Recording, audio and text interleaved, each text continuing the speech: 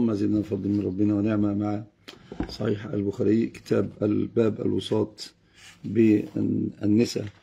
قال المصنف رحمه الله تعالى حدثنا إسحاق بن نصر حدثنا حسين. ماشي فضل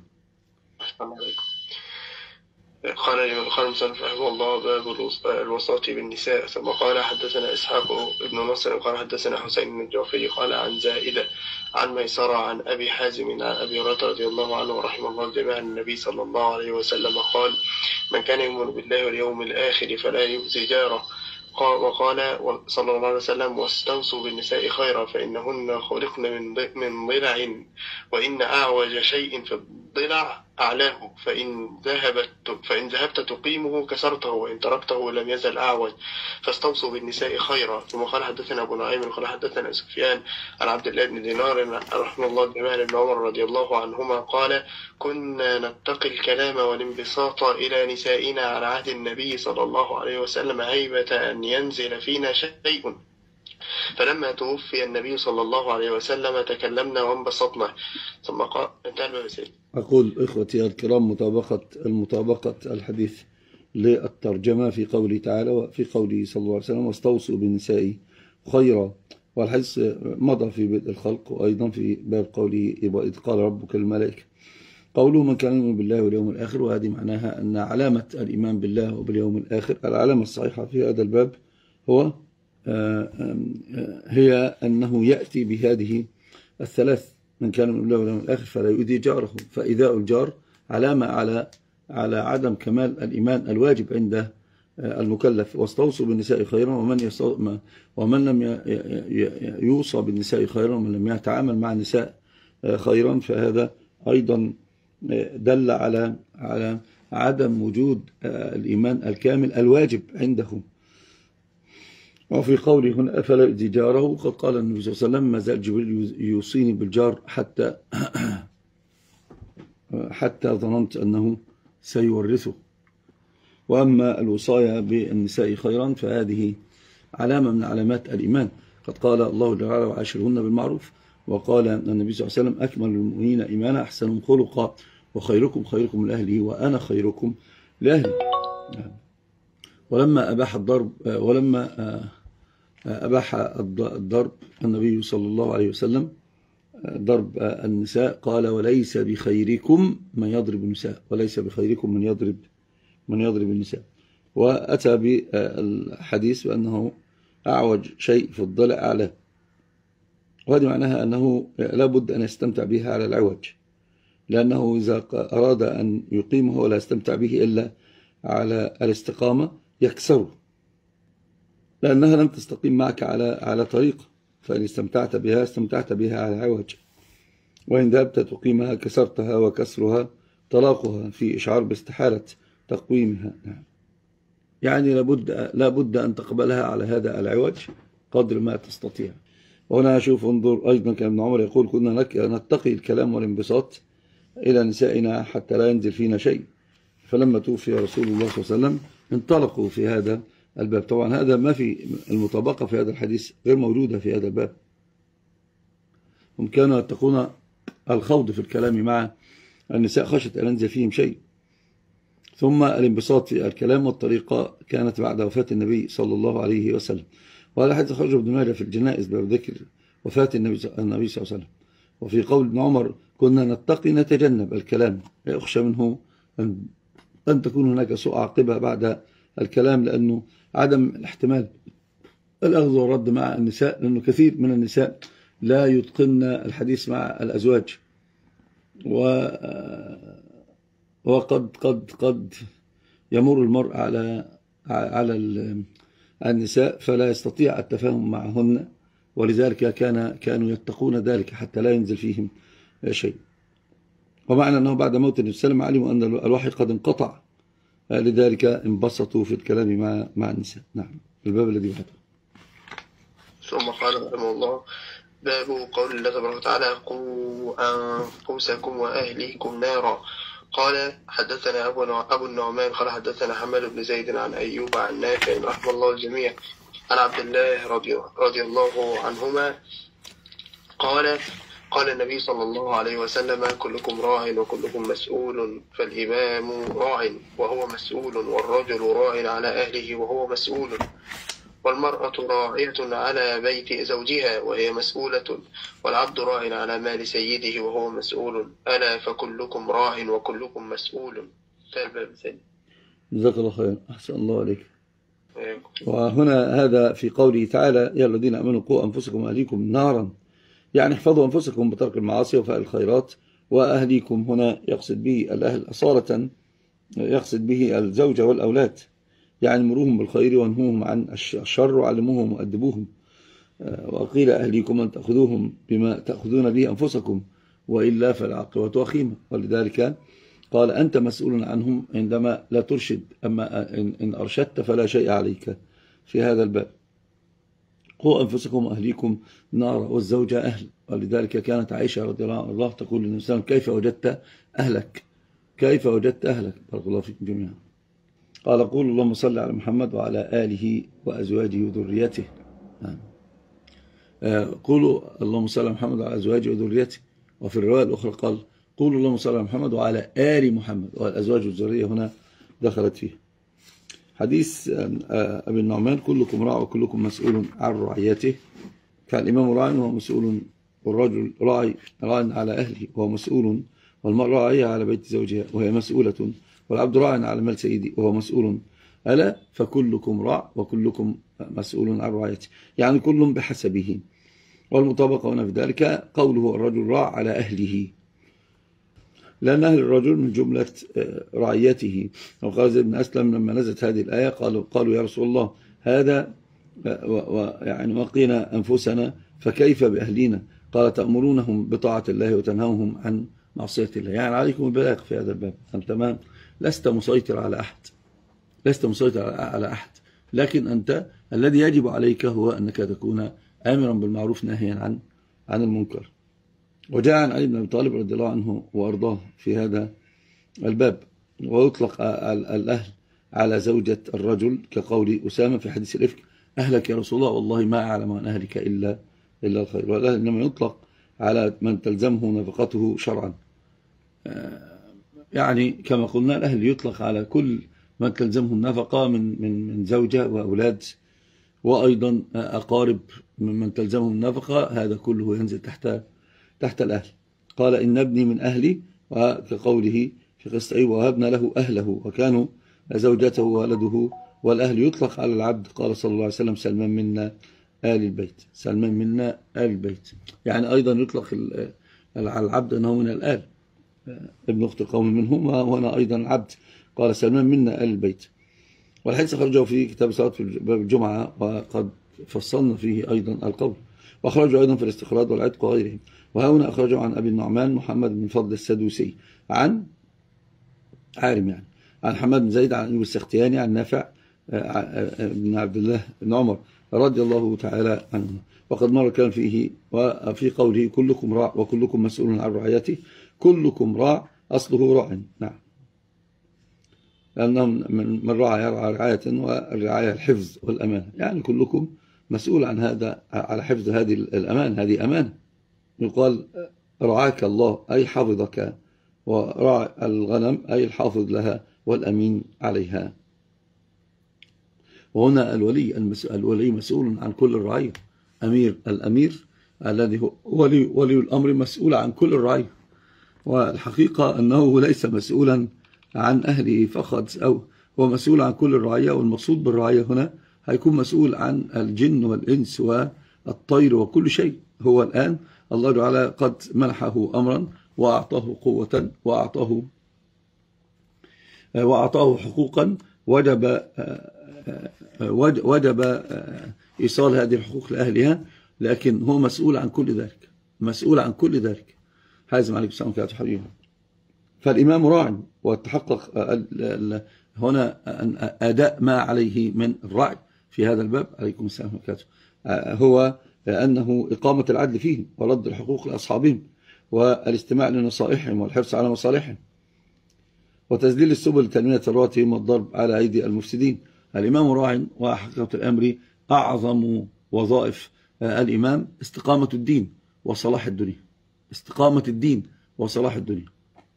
فولي الأمر وهو راع وهو راع وجب عليه أن يأخذ بكل أسباب استقامة الدين. بقطع البدعة ونشر العلم وتفضيل العلماء وبيان مكانتهم. وهذه كلها أسباب هي التي تقوي آه، شوكة الدين. وهذا مأمور شرعا بذلك. حبيبي رضي الله عنك حازم. وأيضا هو مأمور مأمور آه، بتوفير ما يكون من آه، الكفاية للرعية. نعم. رجل راع على أهله وهذا موضع الشاهد الذي يريده الإمام البخاري. فيكون الرجل مسؤولا عن أهل, عن أهل بيته تربية وتعليما وتهذيبا وتقويما وتأديبا. فلذلك وجب عليه أن يحسن إليهم وأن يرعى شؤونهم دينيا دنيا ودين. لكن دين أول شيء الأهم استقامة الدين واستقامة الدين. تكون المرأة على الديانة ويكون الولد أيضا على ما يرضي الله جل في ثم بعد ذلك يرعى منهم النفقة والكسوة والمأوى وغير ذلك من الإحسان إليهم.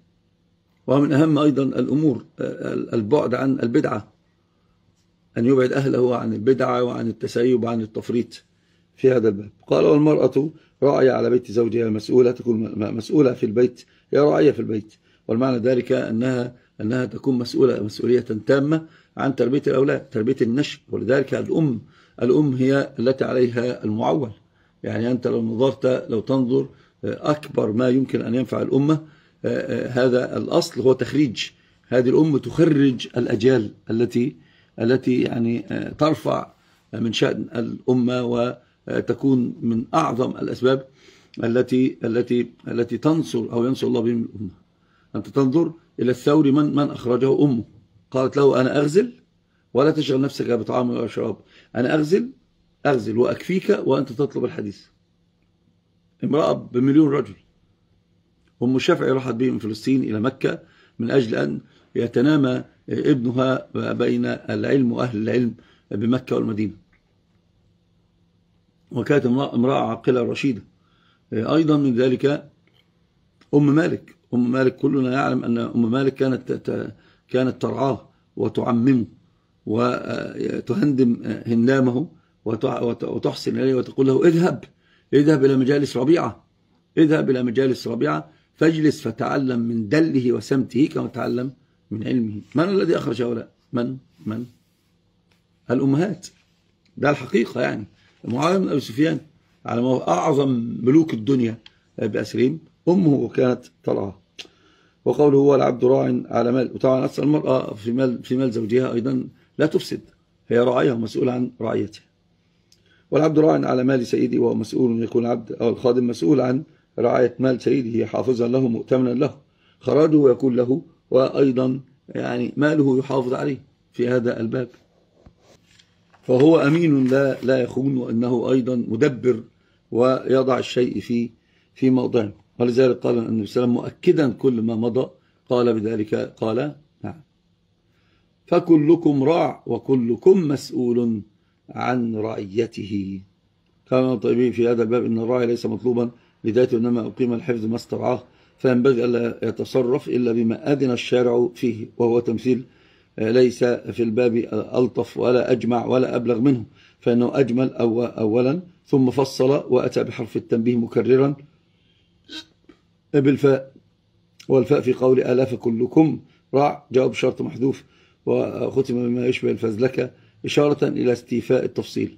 قال غيره دخل في هذا العموم المنفرد الذي لا زوج له ولا خادم ولا ولد فإنه يصدق عليه أنه راع على جوارحه حتى يعمل المأمورات ويشتمل المنهيات فعلا ونطقا واعتقادا فجوارحه وقواه وحواسه رعيته ولا يلزم الاتصاف بكونه راعيا ألا يكون مرعيا باعتبار آخر. والحقيقة أن الإنسان يكون راع على نفسه ومسؤول عن رعايته لأن نفسه التي بين جنبيه لا يملكها وجوارحه ملك الله جل في علاه.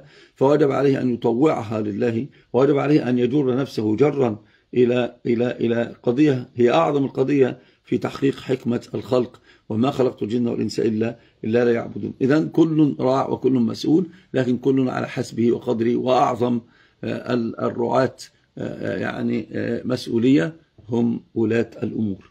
ولذلك عمر الخطاب بكى. بكى وقال لو لي كنوز الأرض ملكا لي كلها لافتديت بها من من يوم المطلع. لو طلع الأرض بأسرها ذهبا وكان يملكه عمر بن الخطاب قال يعني لافتديت بها من هول المطلع وأنه سيقف أمام ربي وقف عاما كاملا ابن عباس يدعو أن يراه حتى راه يتسبب عرقا وقال الآن انتهيت. نعم انتقل المصنف إلى باب آخر. الحمد لله والصلاة والسلام على رسول الله صلى الله عليه وآله وصحبه وسلم. اللهم ارضى عنا وعن شيخنا وعن والديه والحاضرين والمسلمين. آمين. قال الإمام البخاري رحمه الله تعالى عليه ونفعنا بعلوم علوم الصالحين قال في كتاب النكاح باب حسن المعاشرة مع الأهل. قال حدثنا سليمان بن عبد الرحمن وعلي بن حجر قال أخبرنا عيسى بن يونس قال حدثنا هشام بن عروة عن عبد الله بن عروة عن عروة عن عائشة رضي الله تعالى عنها. رحمة الله عليهم أجمعين. عن عائشة أنها قالت جلس إحدى عشرة امرأة فتعاهدن وتعاقدن ألا يكتبن من أخبار أزواجهن شيئا. أوه ده حديث مزرع أنا حديث المزارع يعني فصلنا فيه التفصيل كبير في كتاب تفتكر تفتكر يا أحمد ولا في كتاب إيش؟ نعم. كتاب الشمائل شمائل الترمذي. فصلنا فيه كتير جدا. فنحاول نجمل فيه الآن. اتفضل إن شاء الله. نعم. قالت الأولى زوجي لحم جمل غث. على رأس جبل لا سهل فيرتقى ولا سمين فينتقل. قالت الثانية زوجي لا أبث خبره إني أخاف ألا أذره. إن أذكره أذكر عجره وبجره. قالت الثالثة زوجي العشنق إن أنطق أطلق وإن أسكت أعلق. قالت الرابعة زوجي كليل تهامة لا حر ولا قر ولا مخافة ولا سآمة. قالت الخامسة زوجي إن دخل فهد وإن خرج أسد ولا يسأل عما عهد. قالت الثالثة زوجي إن أكل لف وإن شرب اشتف وإن اضطجع, وإن اضطجع التف ولا يولج الكف ليعلم البث. قالت السابعة زوجي غياياء أو عياياء طبقاء كل داء له داء. شجك أو فلك أو جمع كل لك يعني مضروبة مضروبة. زوجي مضروبة مضروبة قالت الثامنة زوجي المس مس أرنب والريح ريح زرنب. قالت التاسعة زوجي رفيع العماد طويل النجاد عظيم الرماد قريب البيت من الناد. قالت العاشرة زوجي مالك. وما مالك؟ مالك خير من ذلك. له إبل كثيرات المبارك قليلات المسارح. وإذا سمعنا صوت المزهر أيقن أنهن هوالك. نعم. قالت الحادية عشرة زوجي أبو زرع فما أبو زرع أناس من حل أناس من حلي أذني؟ وملأ من شحم عضدي. وبجحني فبجحت إلي نفسي. وجدني في أهل غنيمة بشق فجعلني في أهل صهيل وعطيت ودائس ومنق.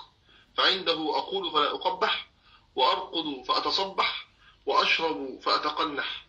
أم أبي زرع فما أم أبي زرع عكومها رداح وبيتها فساح. ابن أبي زرع فما ابن أبي زرع مضجعه كمسل شطبة.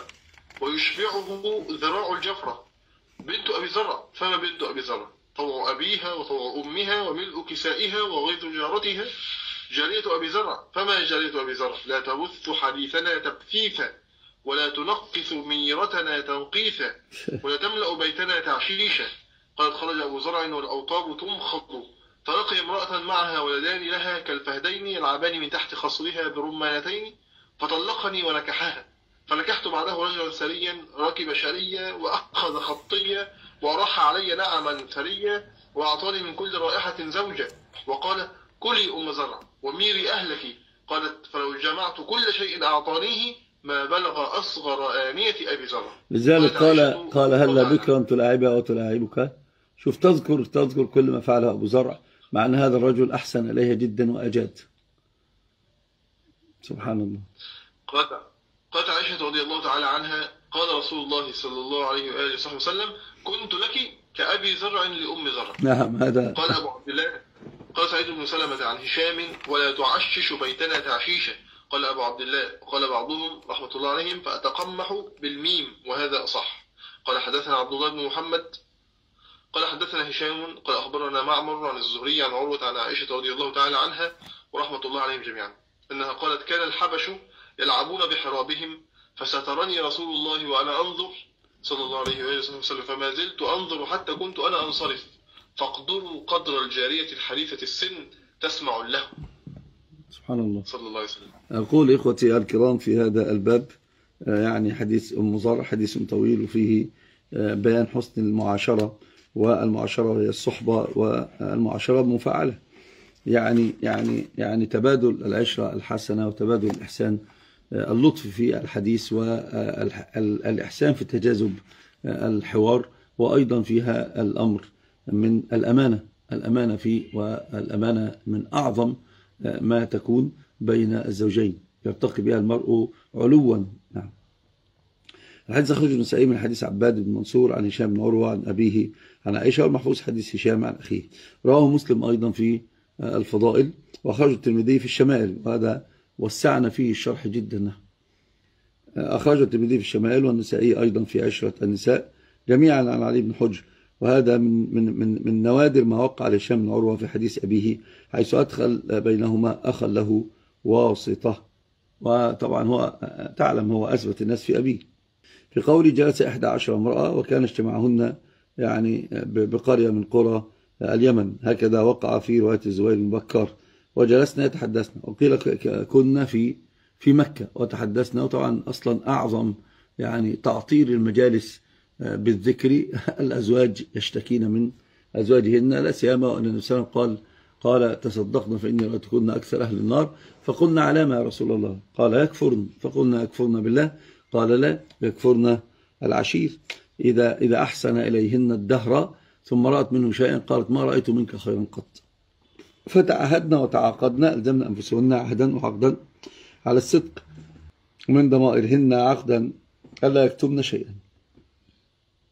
وأن يتصدقن بينهن ولا يكتمن شيئا. عند الطبراني أيضا في هذا النعت أن ينعتن أزواجهن ويصدقن في ذلك. وآت الزبير فتبايعنا على ذلك. عجيب والله عجيب. وأنا محتاج أصلا مبايعة. قالت الأولى قوله قالت زوجي جمل غث على رأس جبل. وعر أي هو هو غث يعني هزيل جدا هزيل هزيل جدا وهذه معناها أنه لا قوة له لا قوة بدن ولا قوة ولا قوة رأي. وهذه معناها سقوط مدوي. يعني أرادت أرادت أن أن تقتله قتلا ذريعا. لما تقول هزيل هزيل أول شيء هزيل هزيل في الشخصية. هزيل في الشخصية هزيل في رأيه هزيل في كلامه هزيل في قوة بدنه. قالت يعني هو جمل غث على على رأس جبل وع يعني قل لي من الذي يهتم بمثل هذا. يعني لا هو أصلا يعني يرتقى تستطيع أن تصل إليه. ولو وصلت إليه بعد ذلك تندمت آخر الندم. لأن كل التعب في الوصول إليه يكون يكون يكون يكون يكون طار هباء منثورا. على رأس جبل نعم. تصف قلة خيره وبعده مع القلة على كالشيء في قمة الجبل الصعب لا ينال إلا بالمشقة. يعني على قلة الخير الذي فيه لا يصل منه خير لزوجته بحال من الأحوال. لذلك قالت على رأس جبل وعر. يعني كثير الصخر شديد الغلظة لا يستطيع أن يرتقى إليه. فقالت حتى تفسيرا بذلك بقى هو جمل. غث نعم على على رأس جبل وعر قالت لا سهل فيرتقى. يعني لا هو سهل. والمعنى لا يأتي إليه أحد لصعوبة المسلك. ولا يؤتى به إلى أحد. لا تنقله الناس إلى بيوتهم لرداءته يعني من وجده يتركه. كما يقال قبله ووضعه في جانب أتعب الناس. لا ما يعد إجماعنا حازم. لا لا يعد إجماع. وفي رواية أبي عبيد ولا سمين فينتقل وفي رواية فينتقى أي يستخرج نقيه. وحاصله أنه قليل الخير من جهة أنه لا لحم جمل لا لحم غنم.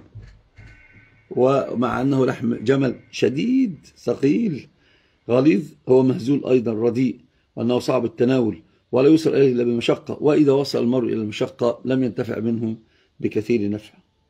الحقيقة يعني أخبث شيء الغثاثة في الأنعام من الجمل لأنه يجمع خبث الريح وخبث الطعم وصعوبة أيضا الوصول وصعوبة الاستفادة. عليكم السلام عليكم محمد.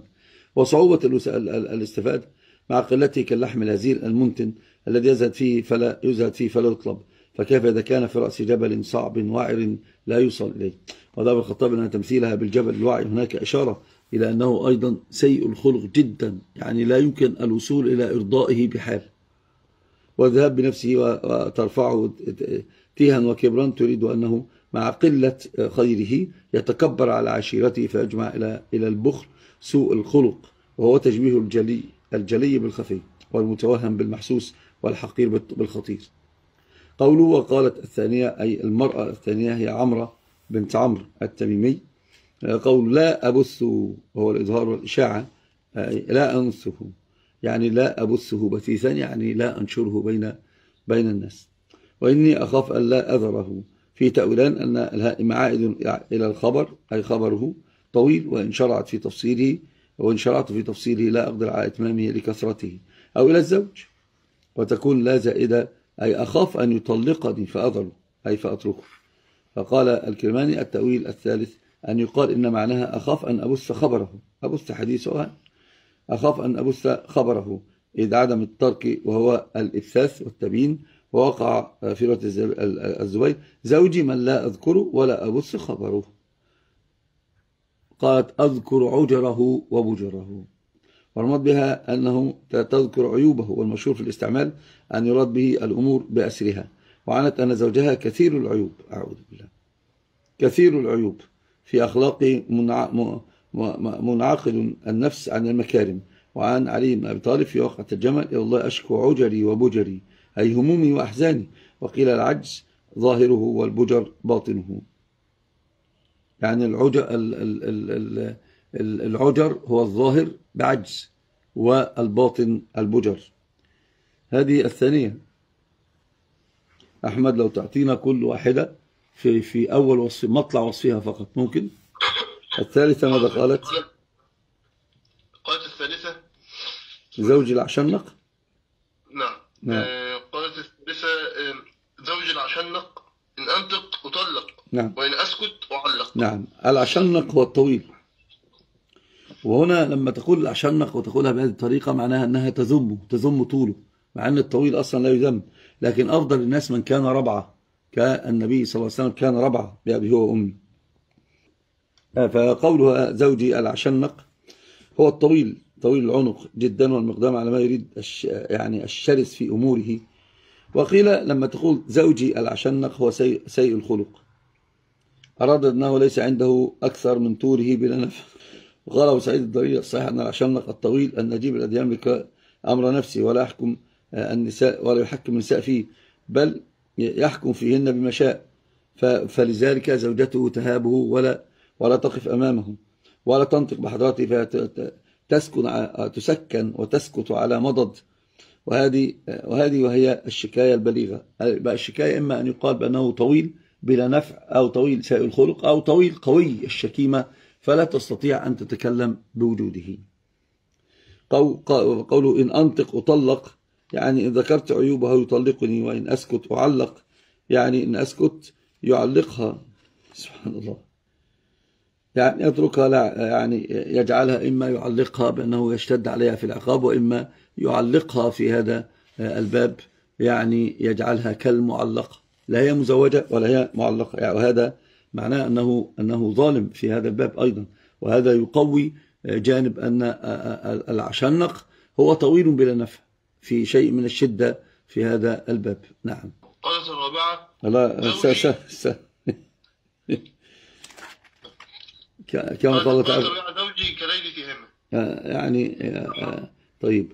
الرابعة هذه هذه و هي قالت زوجي كيش كليل؟ كليل تهامة نعم يعني هذا كأنها تمدحه. شبهت زوجها بليل تهامة وتمدحه أي كليل. أهل مكة أصحاب الأمن أو كليل ركضت يعني كليل فيه فيه شيء من السحابة النسيم أو كليل أو كليل أهل مكة أصحاب الأمن أو كليل ركضت الرياح فيه. يعني ترى ترى يعني تمدحه في ذلك. أو كليل الربيع وقت تغيير الهواء من البرودة إلى الحرارة وظهور الاعتدال ليس فيه أذى. يعني كأنها تقول بأن زوجها فيه يعني المعاشرة فيها راحة ولذة وأنس ولطف وإحسان وبر فأرادت المدح له. كليل تهامة يعني معتدل ليس فيه حر مفرط ولا برد.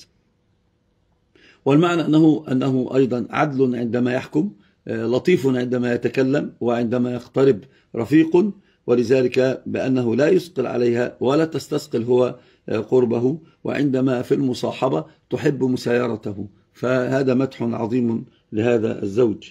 نعم. قالت لا قر لا, قر لا قر هو البرد ولا سآمل ملالة يعني حر شديد.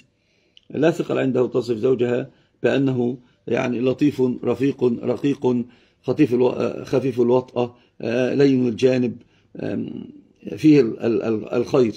وقالت يعني في في هذا الباب لا مخاف عليها في هذا ولا تخاف منه.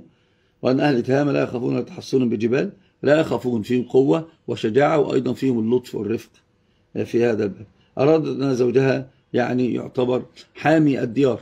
وهو أسد مغوار ومع ذلك معها هو لين جدا لطيف جدا رقيق جدا رفيق جدا. نعم. قالت الخامسة زوجي إن دخل فهد إن دخل فهد وإن خرج أسد ولا يسأل عما عهد نعم هو هنا الآن قالت إن دخل فهد. الفهد تعرفون أنه ينام كثيرا يتغافل كثيرا. وهذا كما قال الشافعي قال خير الناس أعمقهم إيش؟ غفلة.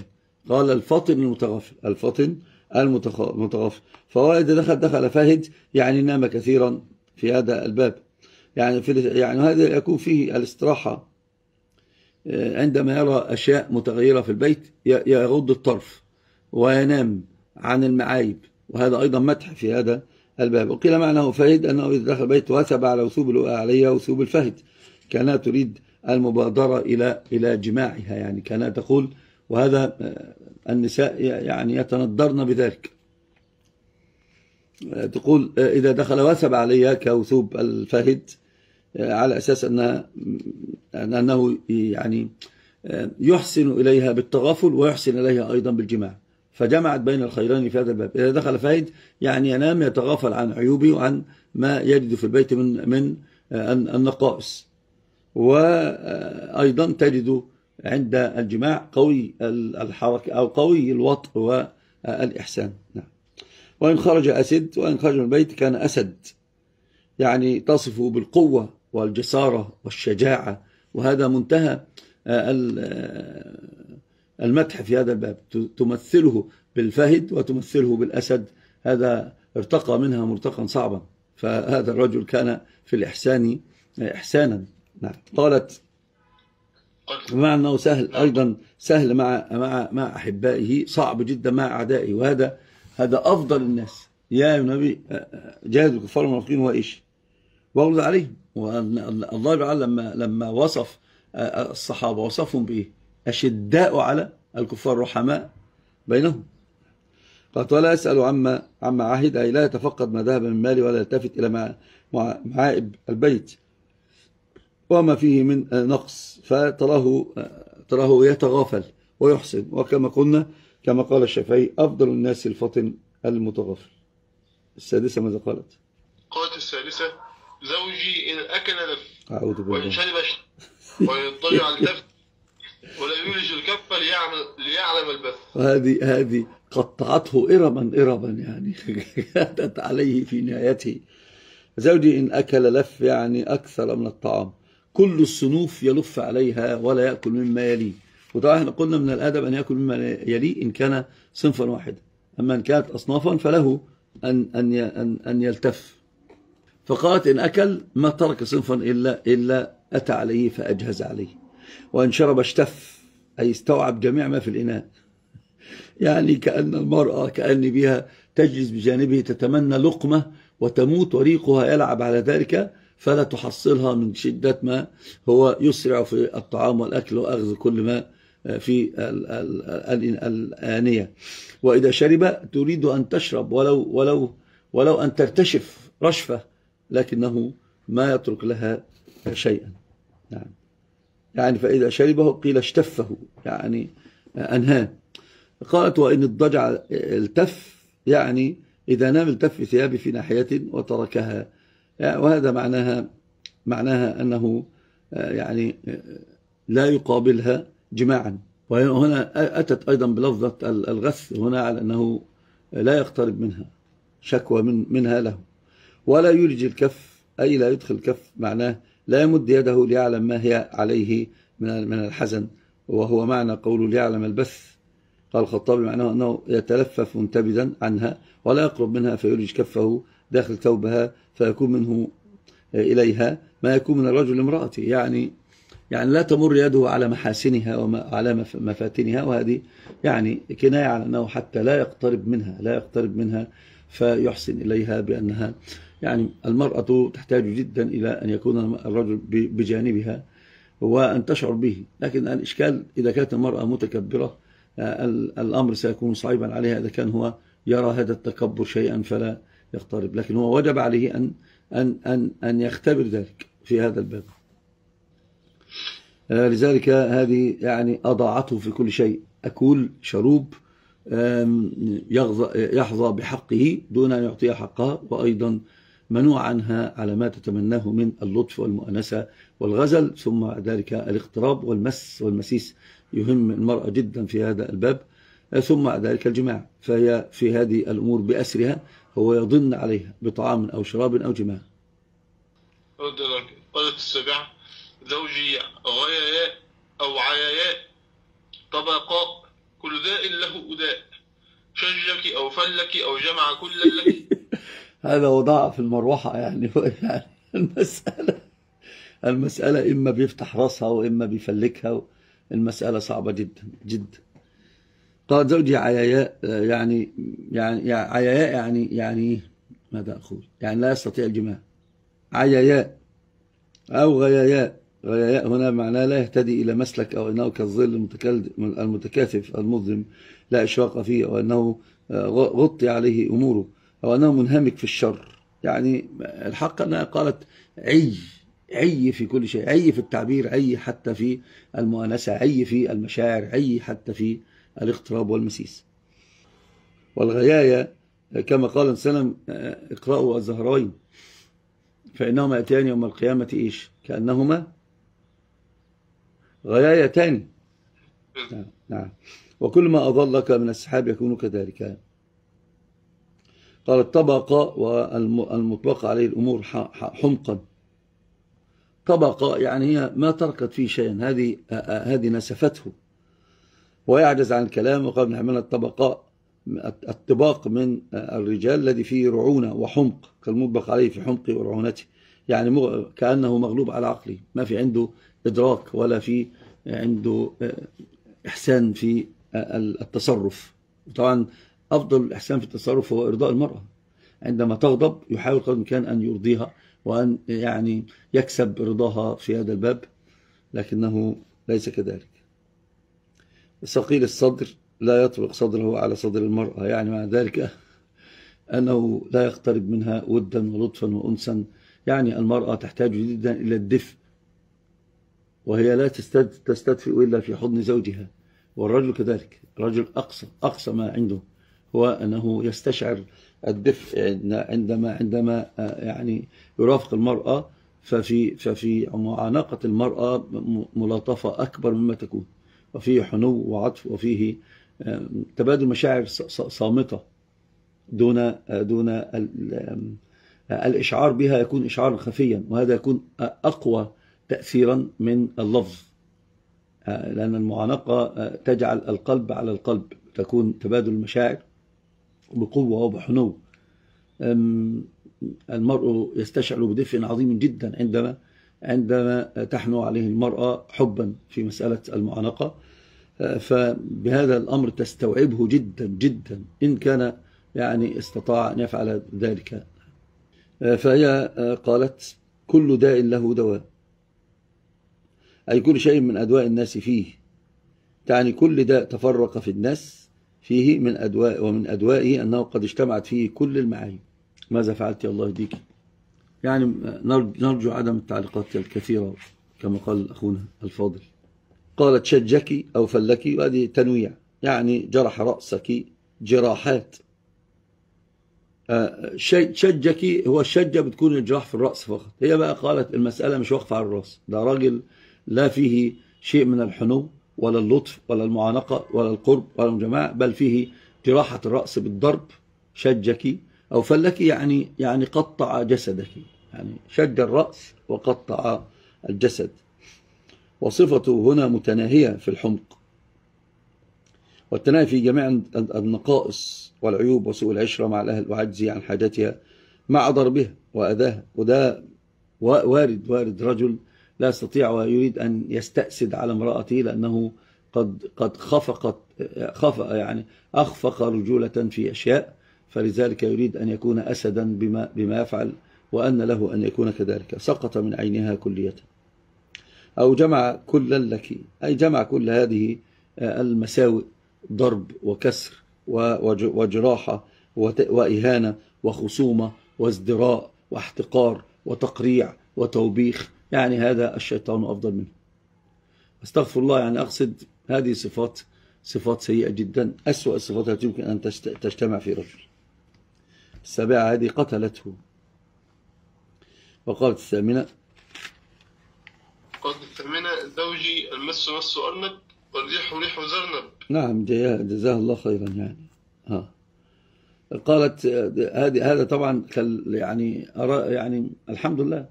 على الأقل بدل ما كانت التي قبلها يعني يعني قد قطعته بل بل أذابته في الملح. كالملح في الماء. قوله المس مس أرنب يعني تصف بحسن الخلق أنه رفيق هين لين. وقد قال النبي صلى الله عليه وسلم إن الله رفيق يحب كل رفيق ويحب الرفق ويعطي على الرفق ما لا يعطي على غيره. إذا وضعت يدك على ظهره لأن وبره ناعم والزرنب وزن الأرنب. لكن أوله زي وهو نبت طيب الريح وقيل هي شجرة عظيمة بالشام على جبل لبنان. لا تثمر ولها ورق بين بين الخضرة والصفر بين الخضرة والصفر. وقيل هي الحشيشة طيبة الرائحة رقيقة. وقيل هي الزعفران كل ذلك فيه أنها يعني إذا وضعت يدها على ملمسه كأنه حرير. تنظر كما قال أنس عن يد النبي صلى الله عليه وسلم قال, قال, قال لا والله ما مست يدي دباجا, دباجا ولا حريا مثل يد النبي صلى الله عليه أليا من يد النبي صلى الله عليه وسلم. يعني هي قالت المس مس أرنب والريح ريح زرنب وقالت إيش؟ أنا أغلبه والناس إيش؟ يغلب. يعني أنا أغلبه معناه إيه؟ يتغافل عني وكلما يعني كنت معه أكون أنا فوقه. وهو على الناس أسد لكن معي يكون رفيقا هينا لينا يسمع ويسكت ويحسن ويتلطف. هذا من أبدع ما وصفت به زوجها في هذا الباب على الرفق واللين والإحسان والبر وأنه معها أليم ما يكون وأنه يفوت لها كثير من الأمور وأنه يسمع لها ولا يؤذيها. ويعني إذا غضب لا يظهر غضبه. عليها أما مع الناس فإنه أسد مغوار شوف هذا هذا باب في هذا الباب. ثم قالت التاسعة. قالت التاسعة زوجي رفيع العماد طويل النجاد عظيم الرماد قريب البيت من الناد. يعني يعني رجل الجود كله حاتم الطائي. وهذه في وصف, وصف وصفته بالشرف في نسبه وسؤداده وأنه كبير الناس وأنه رفيع العماد والعماد في الأصل عماد البيت. نعم. تعالى بيته في حسب رفيع في قومه. آه، يعني يحتمل أن أراد أيضا أن بيته عالي الحشمة وسعادة وسعادته لا كبيوت الغير من الفقراء والمساكين التي لا توصف بمثل هذا الوصف. آه، الحوائج ينظرون إليه تشرئب عناقهم آه، ليستفيدوا منه. عظيم الرماد يعني كثرة الرماد تستلزم كثرة النار وكثرة النار تستلزم كثرة الطبخ. يعني جواد جدا كريم صاحب أضياف. كثير الأضياف وهذه كثير الأضياف فهو جواد كريم. كثير الأضياف فهو جواد كريم. قريب البيت من الناد يعني يعني هو كناية عن الكرم والسودد أن النادي مجلس القوم فهو سيدهم وهو وهو أكبرهم وهو يعني أشجعهم فهو عنده الضيفان يقصدون النادي أو يقصدونه. فهو قريب من النادي كل أضياف النادي يأتون إليه يستضيفهم ويجود عليهم ويكرمهم وعندما أرادوا قوة الرأي لا يجدوها إلا عنده وهذا مدح تام تام غير منقوص. نعم تفضل. وأما العاشرة آه من العاشرة. تفضل. قال نعم. قالت العاشرة زوجي مالك وما مالك؟ مالك خير من ذلك. له إبل كثيرة المبارك. قليلة المسارح وإذا سمعت صوت النهار أيقن أنهن هوالك. يبقى إذن زوج مالك وما مالك مالك خير من ذلك أرادت بهذه الألفاظ تعظيما لزوجها. لما تقول مالك ما مالك؟ استفهامية فيها مع التهويل والتعظيم والشرف. أي ما هو؟ أي شيء هو؟ ما أعظمه ما أكرمه ما, ما أجمله ما لخير من ذلك زيادة في التعظيم أيضا وتفسير للإبهام أنه خير مما أشير إليه من ثناء وطيب. يعني مهما قلت له في الصفات الحسنة هو فوق ذلك. هو فوق ذلك. له إبل أي لزوجي إبل كثيرات المبارك أو المبارك وهو جمع مبرك وهو موضع البروك. أرادت في ذلك أن أنه يعني يجعلها تبرك في معظم أوقاتها بفناء داره لا يوجهها تسرح إلا قليلا. قدر الضرورة حتى إذا نزل به الضيف كانت جاهزة لحسم المادة بالذبح والنحر أو النحر. من أجل إحسان إكرام الضيف. قليلات المسارح وجمع المسرح والموضع تسرح إليه المشيه وهنا الوصف بذلك أنها كثيرة وأنها لا تغيب عن الحي ولا تسرح المراعي البعيدة. تبرك بفنائه كما قلت حتى يقربها بأسرع ما يكون للضيف الذي يأتي قالوا إذا سمعنا صوت المزهر أيقنا أنهن هوالك يعني علمنا أن الضيف قد أتى. وإذا سمعوا المزهر هنا وهو العود الذي يضرب به. أي أن زوجها يعني عود عود الإبل إذا نزل به الضيفان أتاهم بالعيدان والمعازف وآلات الطرب أو الطرف أو آلات الطرب يعني إذا سمعنا الإبل ذلك علمنا أنهن منحورات. هناك ضيف قد أتى منحورات. قالت الحادات ومنحورات فهذا فيه أنه جواد كريم وأيضا أيضا هذا باب مدح ولله الحمد لله بدل الزم الذي يعني قد قد قض مضاجع النساء الآن. تفضل. الحادية عشرة وهي الأخيرة. قالت الحادية عشرة زوجي أبو زرع فما أبو زرع أناس من حلي أذني؟ وملأ من شحم عضدي. وجحني فبجحت إلي نفسي. وجدني في أهل غنيمة بشق. فجعلني في أهل صهيل وأطيط ودائس ومنق. نعم هنا مدخول زوجي أبو زرع فما أبو زرع مثلها مالك ما مالك. يعني للتعظيم وفخامة الشأن. في هذا الباب كأنه قالت يعني أن أن أنتن لا تعرفن ما مكانته وما عظم ما هو فيه من قرب الوجود أناس من حلين أذنية يعني هنا يعني آه يعني أعطاها كل ما يتزين به تتزين به المرأة من ذهب وفضة وحلي آه يمكن أن تتحلى به. معناه أنه أغناها. وطبعا النساء أنت آه من النساء. النساء والذهب ما أدري المقارنة كيف كلما ترى الذهب كأنها تطير في السماء. ولذلك كل امرأة تغضب على زوجها إذا أراد أن يرضيها فقط خاتم الذهب يجعلها راضية عاما كاملا. في هذا الباب. أمين. خالد أمين رضي الله عنك. ففيها الحلق والقرط وهذا الذهب المحلق هو الآن فلا حرام. وملأ من شحم من شحم عضدية يعني المسألة مش مسألة الحلي فقط من أجل أن تتحلى وتتزين به. لكنه أيضا أطعمها فأحسن لها طعامها حتى سمنت. و والسمانة في النساء في العرب زمان يعني كانوا كانت محبوبة. ما أدري كثير من الناس يحب ذلك أم لا. رضي الله عنك. أنت خذوا تفصيلا من الشمائل يا حازم. شرحناه في الشمائل بأوسع من ذلك بكثير. يعني هنا سمنت وحتى أنها ظهرت سمن عليها يعني يقول مرتاحة يعني مرتاحة جدا. وهي معه أحسن لي إحسانا عظيما. قالت وبجحني من التبجح. التبجح والتفريح هو التفريح.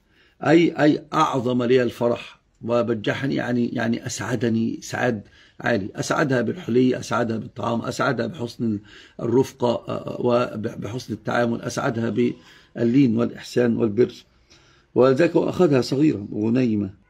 هات الجزئية هذه فجعلني في أهل صهيل وأطيق ودائس ومنق نعم يعني هي كانت في في في بيتها هناك فقر وضيق فأخذها إلى سعة سعة وملك وإحسان وبر. كان في قلة اليد عندهم وسكن شق, شق الجبل أي ناحية الجبل أو بعضه. لكن قالت في أهل صهيل أي أصحاب صهيل صوت الخيل وأطيط أصوات الإبل يعني أنه ذهب بها إلى أهله وهم أهل خير أهل خير وخيل وإبل. ويشبه أن تريد بهذا المعنى كأنها تريد أن أصحاب محامل أنهم أصحاب محامل ورفاهية ورفعة. ترى قال سنة في الفدانين وأصحاب الخيل العرب تتخايل بالخيل. نعم. لأن المحامل لا يركبها, لا يركبها إلا أصحاب السعة وكانت قديمة من مراكب العرب. قالت ودائس اسم فعل من الدوس ودياس قال ابن السكيت الدائس الذي يدوس الطعام. طبعا تأوله بعضهم من دياس الطعام ودارسه أهل العراق يقولون الدياس وأهل الشام يقولون دراس الجرين يعني. فكانها أرادت أنهم أيضا أصحاب خيل وإبل وأيضا زرع. الله أكبر. ومنق الذي ينقيه ينقيه من التبن الغربال يعني.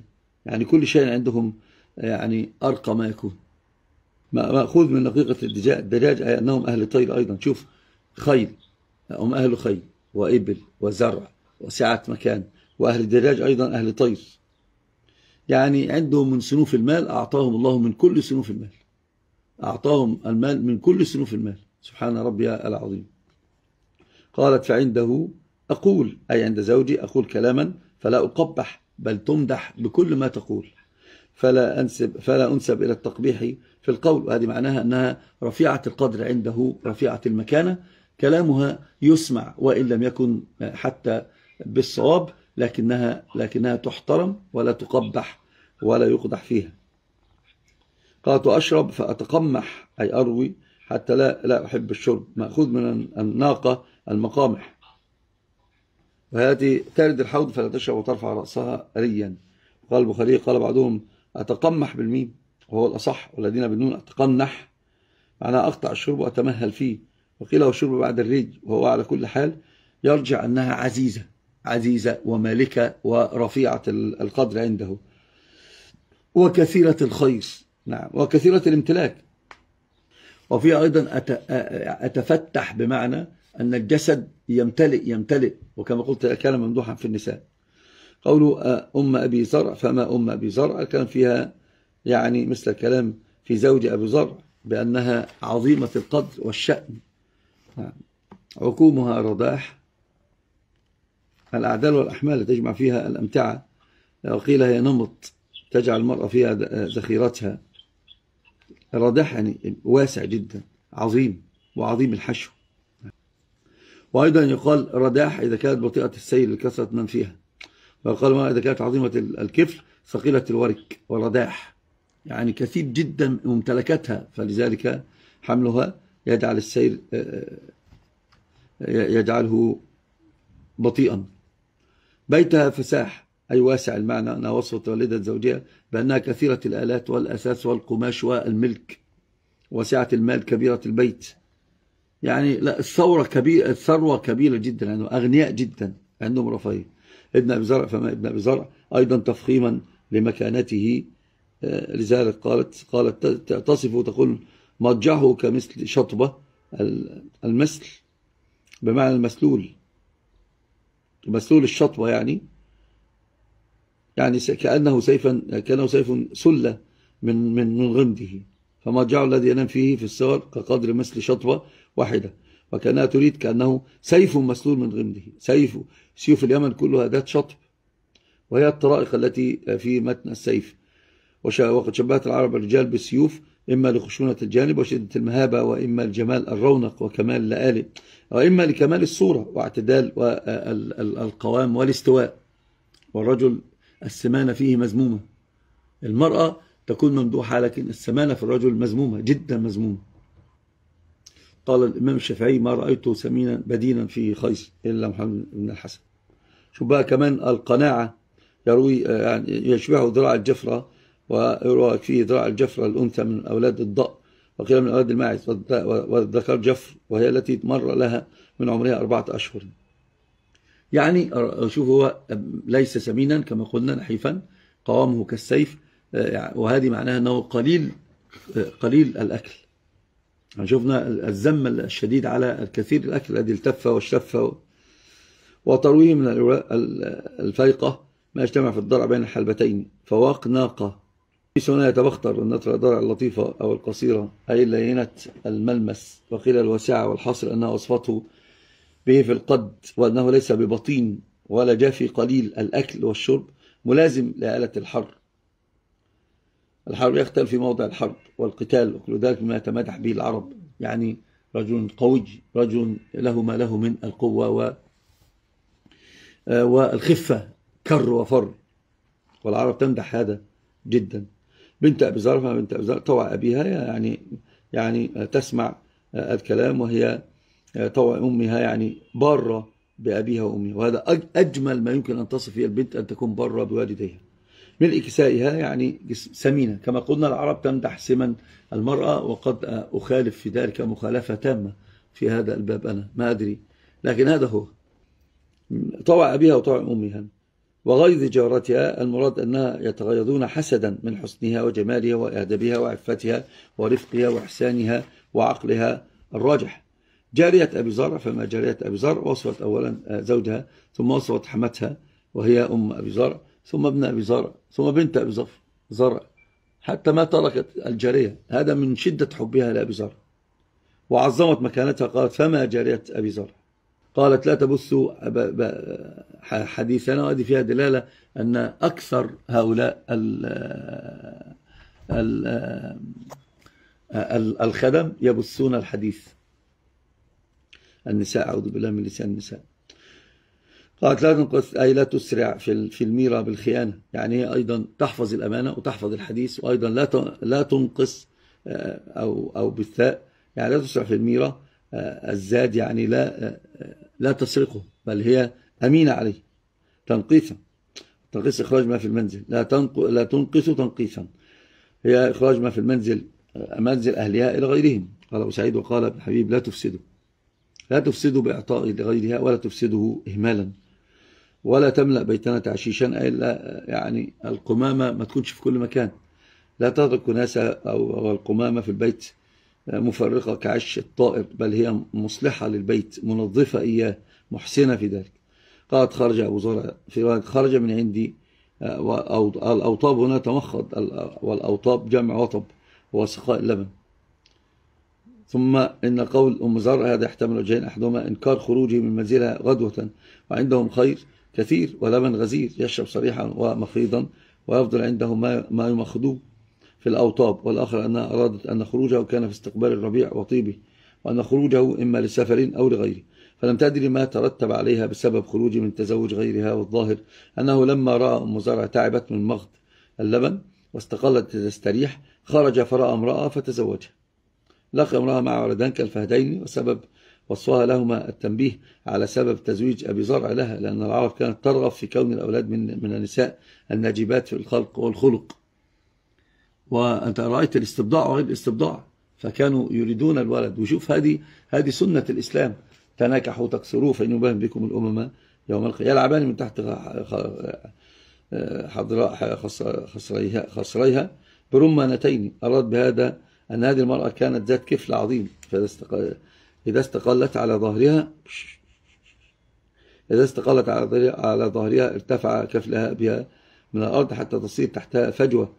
يجري فيها الرمان من تحت درعها وفي رواية الهيثم من تحت صدرها عن ابن أبي أويس. أن الرمانتين هما الثجان يعني.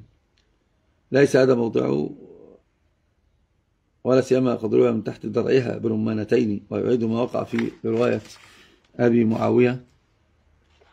هي مستلقية على قفاها مع رمانة آه، يرميان بها من تحتها فتخرج من الجانب من جانب درعها برمانتين يعني الحقيقة أنها أرادت أن تكون تصف وصفا دقيقا لجمال قوامها لا سيما المرأة أجمل ما يكون قواما فيها هو تكوير أو تدوير الثدي وأيضا القوام يظهر من النحافة عند الوسط تسمى الجوانب يعني.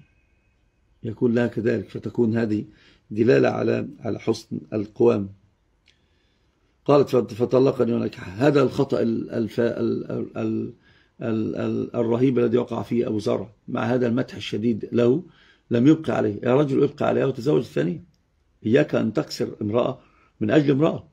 ابقى عليها وتزوج الثانية. وكن من أحسن الناس فعلا في هذا الباب. فطلقني ونكحها قالت فأعجبته فطلقني وفي وقت خطبها أو زرع فتزوجها فلم تزل به حتى طلق أم زرع.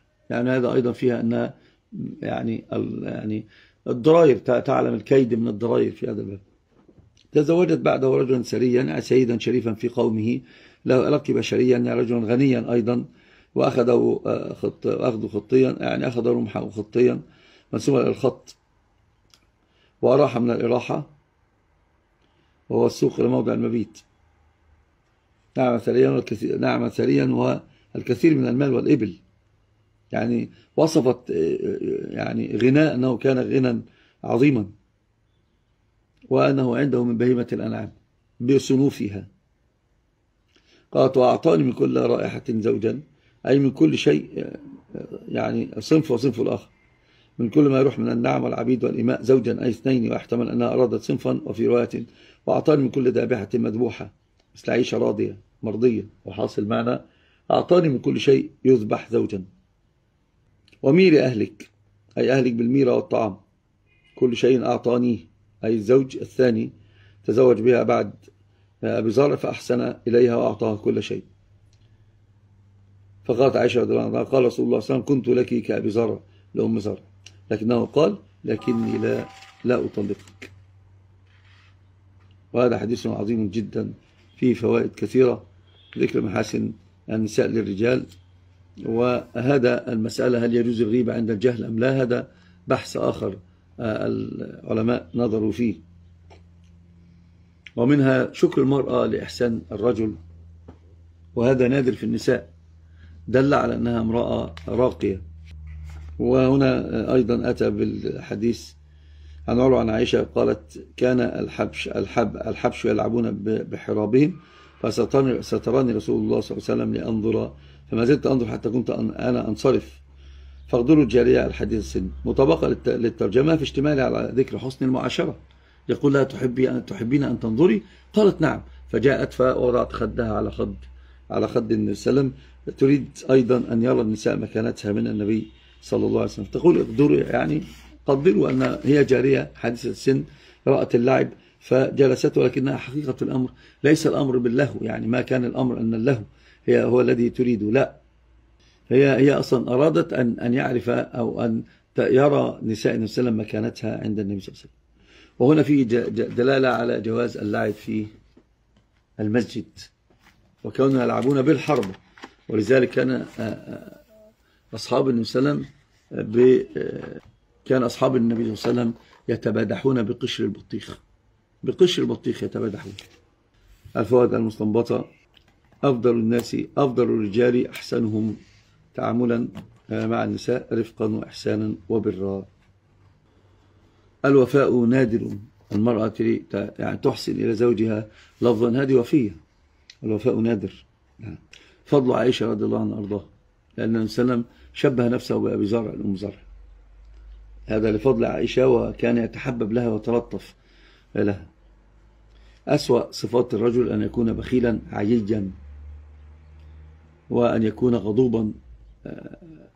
غير مرضي يعني يكون غضوب جدا ولا يرضى ما في شيء يرضيه. وأفضل الرجال من كان رفيقا رفيقا متغافلا قويا عند التعامل في مع الرجال. نقف عند هذا. رضي الله عنكم وأحسن الله عليكم ورفع الله مقامكم. جزاكم الله كل خير. يا طالب العلم قم لا تنم فإن الزمان يا طالب العلم قم لا تنم فإن الزمان انقضى وانصرم. فكن ما حييت ضنينا به فظنك بالوقت عين الكرم. وكن حلس درسك وافرح به. تكن قائدا في غد للأمم وبادر شبابك من قبل أن يقطع عزمك سيف الهرم. ودع ما استطعت فضول اختلاط وأكل ونوم وقول يذم وصاحب نبيلا ولا تكثرن فكم مكثر يا أخي حرم وحقق إذا رمت شيئا ولا تسمن بوهمك ذات الورم رأيت العلوم وأصحابها لدى كل ذي فطرة تحترم. فإن رمت يا صاحبي رفعة بدنيا وأخرى فلذ بالقلم وأخلص لربك واعمل بما علمت وإن تلقى فيه الألم. وصابر وثابر ولا تكسلا فإن الهموم بقدر الهمم. فإن الهموم بقدر الهمم